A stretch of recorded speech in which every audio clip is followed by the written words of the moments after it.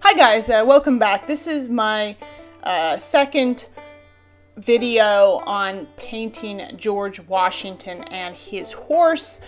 Um, if you missed the whole horse painting bit, please check out my tutorial from last week. I will link to it in the description box. There's also going to be more information there on the figure and just a general introduction to this whole process.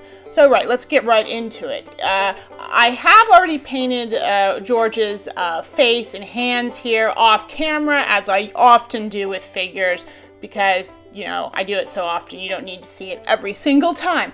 So what I'm going to move on to now is working on all of the uh, buff areas on his uniform which are quite substantial when we're talking about an American Revolutionary War general. They are uniforms were generally sort of this buff color with blue. It's actually a very pretty uniform in my opinion. So I am base coating those areas here with a mixture of Vallejo khaki gray and Vallejo buff, about 50-50, though it doesn't matter a whole lot. Um, you're going to need to paint his pants in this case, and then all of the facings and turnbacks on his jacket are all going to be this color, and also um, his waistcoat underneath, it's also the buff color. Because we're working over black, you're going to have to go back in and apply a couple of layers and build it up just so that you can get a strong enough uh, color. I'm really going to start highlighting. My first highlight here is just going to be pure buff. It's, it's pretty thin here so that I can kind of blend it easily and also build it up a little bit on areas that I want lighter, but that's just the basic gist of it. So you can see I'm just going to be applying it sort of first to the areas that I know I want to be the brightest and then sort of blending it out. That's especially going to be the case like on his pants. For example, you want to apply a lot of it to the top and then sort of blend it downwards and then probably apply a couple more layers to get it just a more solid looking color on those really light areas.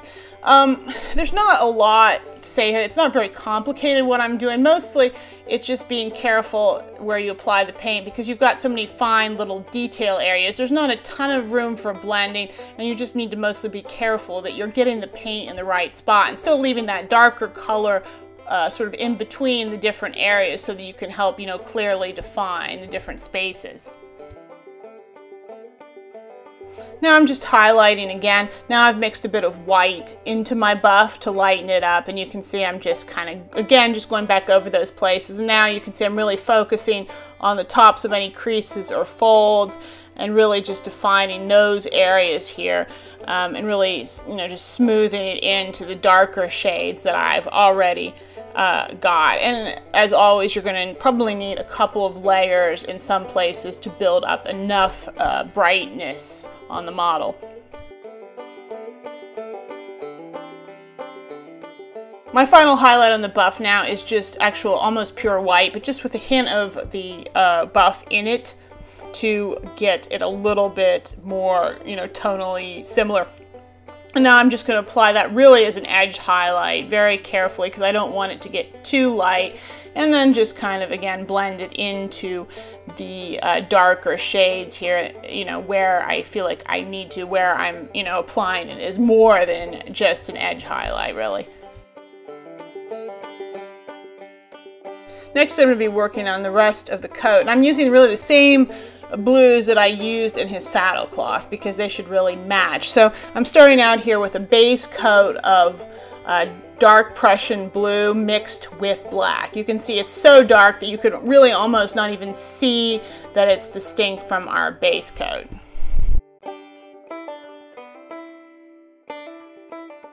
My next highlight here is just going to be the dark Prussian blue, maybe with just slightly darker with black, but you almost don't even have to. As a matter of fact, if you do darken it down and try to apply it, the contrast is going to be so slight, you're probably going to actually have some trouble seeing what you're doing. So I don't even necessarily recommend that. But I'm going to take this dark Prussian blue now, and I'm going to start applying it to areas where more light is hitting, as you would expect, and, you know, sort of blending it out as I work, just, you know, very carefully. I've now taken just a little bit of normal Prussian blue and used it to lighten my dark Prussian blue. Not too much yet because I want this to be very gradual what I'm doing here. I'm going to kind of gradually build up shades and I'm going to now just continue emphasizing areas of highlight. And at this point I'm really going to start focusing on uh, sharp creases, sort of the tops of sharp creases and fold the tops of his uh, sleeves and his elbows and really all those wrinkles really define them so that we have these sharp kind of cut creases that sort of transition between you know this really light highlighted fold and then sort of the dark shadow right next to it. So there's going to be a lot of actually sharp edges here. There's actually not too much blending you're going to have to worry about here because there are so many folds in the fabric. The only real places that's going to be an issue is probably where it kind of transitions to under the arms or into those deep shadow areas. But in the sort of the lit areas, you're not going to have to blend too terribly much. I continue then with just even more of the uh, Prussian blue mixed into my dark Prussian blue to really emphasize the tops of the creases again like I was doing before. I'm also at this point going to start emphasizing seams in the coat because the sculpting on this jacket is such that you can really see the seams that divide the main body of the jacket from the sleeves and also just sort of seam details along the back, which is really a common feature of these 18th century coats. And I really like to emphasize it when I'm painting, especially in this high contrast style. So once you get up to these higher highlight colors, you can start sort of fine lining not just the tops of the creases, but lightly just along one edge of those seams, just to emphasize those really different pieces of fabric. I'm then going to finish off the jacket by taking almost pure uh, Prussian blue here. And I've got it good and thin because the Prussian blue is a very light color and you need to be careful with it in this context because you don't want your jacket to get too light blue because that'll kind of spoil the effect. So I'm applying it very thinly and uh, relying on the transparency, you know, for all that dark blue to show through. And I'm just going to go back in one final time to really emphasize the lightest folds and the areas where I want there to be a real strong highlight. And of course, as I said before, along all those sort of seams at the back of his coat. Now I'm going to worry about the white and gray areas of the uniform. There are not too many you have to deal with here, thankfully but I like to try to cover them all at once. Now, he's got a little bit of sort of white on sort of his sword that I'm going to be doing, and also, uh, very crucially, around um, his neck, he's got sort of a white um, tie on, white undershirt that I'm going to be painting, uh, and also his hair. Now, his hair uh, is powdered, but I want it to be tonally a little different than the other white areas, so I'm base coating with a darker color. I've used neutral gray as the base coat on the hair, whereas I'm taking a sky gray and using that to base coat the other white areas that I just mentioned uh, previously. Once I've got that base coat on, highlighting the white is very much similar to what we did on the horse. So I'm going to first take a 50-50 white sky gray mixture and apply it on those areas to highlight it and then go over it finally with just pure white and build up a couple layers till my white is saturated enough. But we're dealing with such tiny areas here that should not be too tricky to do at all. You should be able to do it, accomplish it really quickly. With the hair, I'm going to be a little bit more um, careful. So I'm going to start out first with a highlight that is a mixture of the neutral gray and the sky gray and then just go up to uh, pure sky gray on the hair uh, really and you can see I'm just focusing it really on those areas where more light is heading and really uh, blending it out.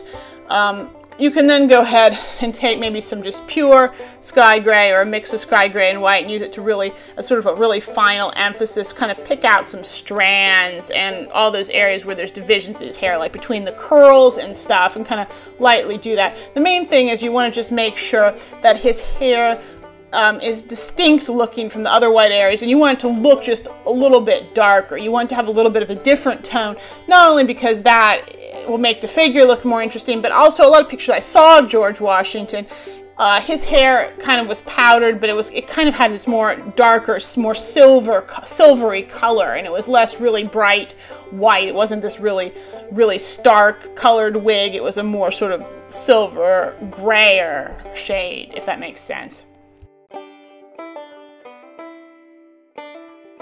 I decided to do a couple areas of the uniform using brown leather. And those are going to include his uh, sword scabbard though you could do that in black if you wanted but I wanted brown just for variety and the tops of his boots. Again those could also be black but you sometimes will see these boots in two tones so black bottom and then a brown cuff and I personally just like the look of that a little bit better here because there's so much black and gray in this figure already and I just want to bring in some more colors and the brown complements that buff shade real nice. So I'm going to be using those. So I'm base coating those areas first with German camouflage black brown and then I'm going to apply sort of a general kind of big highlight using chocolate brown over top of that. And then in order to highlight, it's going to be really like just what I did on the horse tack. So I'm going to go ahead and take and mix some beige brown into my chocolate brown and apply that sort of along the edges again, just lightly and kind of blending in and just also a bit more where there'd be light hitting. It's real easy to see where light's hitting on this figure because he's already sitting on the horse. You can really get a sense of where light is and where there's going to be these clear shadows. And I'm just going to finish with a, an edge highlight, which is just pure uh, beige brown, real lightly sort of along those edges of some of those, those brown leather pieces, to define them. And you can even add in a little Iraqi sand and if you want to for an even more extreme highlight, but I don't even know if it's strictly necessary. You get a pretty good amount of contrast just with these colors. Now the next big area that needs to be covered is uh, the black and gray elements.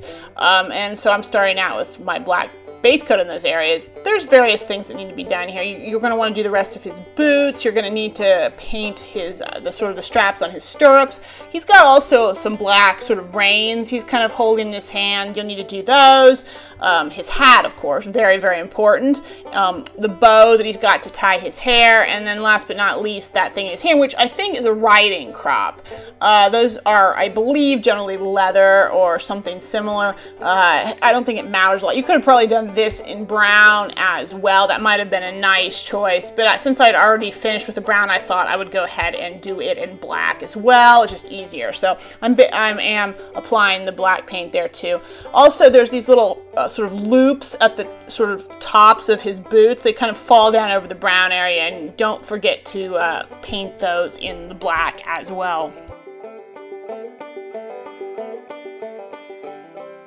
Now I'm just going to start highlighting the black and I'm using the same sort of general process I used on the horse's tack. So I'm starting out here with German gray, which I'm going to apply pretty liberally to most of those areas, just really only avoiding uh, sort of deep shadows or sort of areas where I want to sort of define kind of sort of a division between different pieces. Then I'm going to mix in some neutral gray into that German gray and sort of continue highlighting further picking out the different areas. Now, you're going to be wanting especially careful when you're painting these hats. These hats are kind of these big, smooth surfaces, so getting a smooth blend and keeping the color subtle on these is really, really important. Um, so I'm going to just be real careful what I do. I'm really going to apply the paint thinly, really blend it out, really watch it. You know, apply several layers if you need to. Um, just emphasize the areas where the hat is sort of coming forward and sticking out and you don't have to really apply any paint at all down in the recesses. Then I'm going to just go back and take just almost some pure neutral gray and just continue picking things out uh, even further on the hat. You can see how I'm making another sort of higher highlight towards the top and just kind of carefully blending it out. And with the hat, I'm not going to highlight any further than this because as I said, it needs to stay subtle. You don't want it to look too shiny or get too gray looking. But with the leather and some of the other areas, you can get a little bit shinier. So then I'm going to just mix some sky gray into the neutral gray and just use that to start getting some extra sort of high highlights, shiny areas on the leather straps, along the edges, on his kind of his boots and the like. And you can also be doing this not only on his hair bow, but on the little cockade on his hat, because those areas would have been sort of silk, which means they would have been shinier, so it's okay if you want to put some higher highlights there, even going up to just pure sky gray if you want. And as a matter of fact, I actually think it looks really good, because you can get this kind of shiny effect on those areas, which I think is very, very attractive, you know, and just adds some interest and texture to the whole thing. Now I'm going to be painting his epaulets. Which would have been gold. And I'm going to handle it in the same way that I handled the border on his saddle cloth. So I'm base coating them here with German Camouflage Black Brown.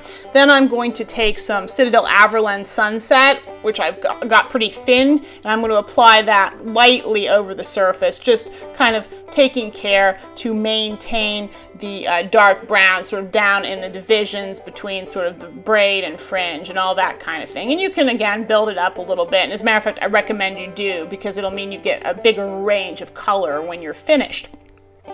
Then to highlight that, just take some Vallejo Buff and sort of go back over it again and pick out really along all the edges and along the, the bits of fringe to make it look a little bit shinier and uh, brighter. And then, and then again, just finish that whole process off with some white with just a little bit of the buff mixed in it and just apply some real thin lines of that just along the very top edges and just little dots along the fringe just to give it uh, the sort of illusion of a little bit of sparkle and a little bit of shine.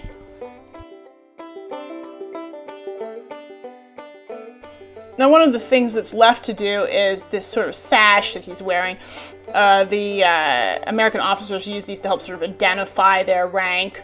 And George Washington very famously wore a light blue sash. I'm not completely sure, but I think he might have actually been the only one who wore that particular color. I don't know. But anyway, to make this I'm going to start out by taking some Prussian blue and mixing in some white to make a sort of a light uh, pastel color. I'm going to apply that as a base coat. And then to highlight, all I'm going to do is just keep adding white into it to get lighter and lighter shades of blue. And you can see I'm focusing the lighter shade to the middle and sort of blending it outwards and just in progressive layers. And along the edge, I'm going to add a very white, very pale blue as an edge highlight. But if you do that well, you can see you're going to get kind of a shiny effect. And that's good because this would have been sort of a silk or satin fabric.